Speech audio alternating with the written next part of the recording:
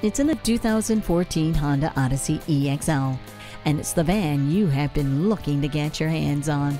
You simply can't beat a Honda product. This one features privacy glass and it has a multifunction steering wheel as well as DVD entertainment.